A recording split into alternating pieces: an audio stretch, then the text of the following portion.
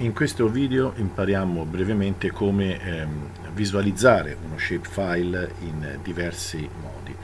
Allora cominciamo da uno shapefile superficiale, andiamo su eh, tasto destro proprietà, vedete che abbiamo diverse possibilità, singolo simbolo o eh, categorizzato, in questo caso dobbiamo con la epsilon scegliere il campo che ci interessa, eh, noi vogliamo visualizzare questo sulla base della potenzialità, gli diciamo classify e lui fa le classi.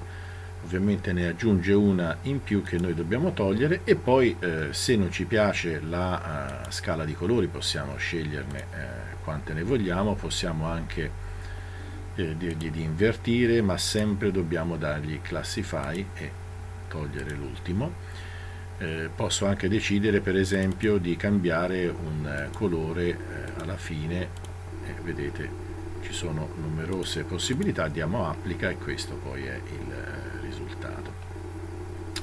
Abbiamo poi la uh, possibilità di visualizzare per esempio degli shape puntuali in questo caso sono dei siti come graduati e possiamo farli ehm,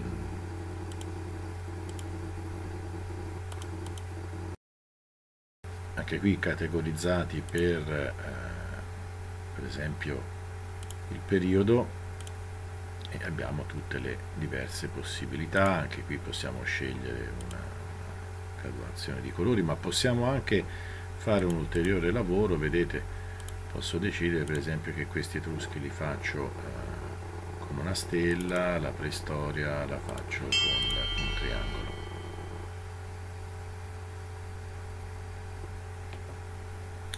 quindi gli do applica e ho questa visualizzazione. Possiamo fare un ulteriore eh, lavoro interessante. Qui abbiamo estratto dei siti eh, preistorici.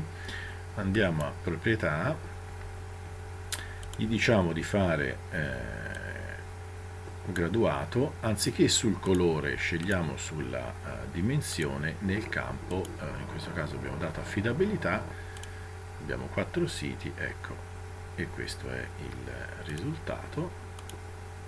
Vedete se noi togliamo gli altri abbiamo i siti che sono visualizzati in modo proporzionale. Questo può essere molto utile per esempio quando si vogliono visualizzare siti di un certo periodo con, in relazione alla quantità di materiali eh, presenti di una certa classe